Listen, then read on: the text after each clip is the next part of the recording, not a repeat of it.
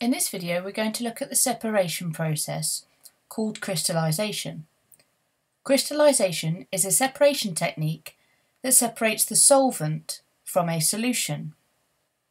And just to remind us what a solution is, in the image it shows us that the solution is a mixture of a solute dissolved in a solvent. In crystallization, the solvent is evaporated to leave the solute.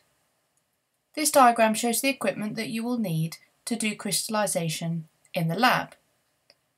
You will need a source of heat, for example a Bunsen burner, a tripod, a gauze, and an evaporating dish.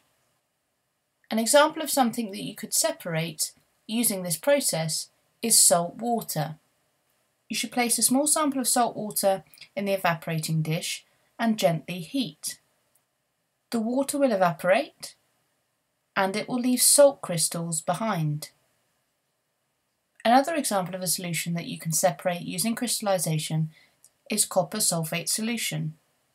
Again, you would gently heat some copper sulfate solution in an evaporating dish. The water would evaporate and it would leave copper sulfate crystals behind. Hi guys, if you enjoyed that last video, then please click on the screen to subscribe. You can also find all my videos in one place at gcserevisionmonkey.com. If you're a teacher, check out the Key Stage 3 package at sciencesurgery.com. It contains all of the Revision Monkey videos as well as loads more Key Stage 3 resources.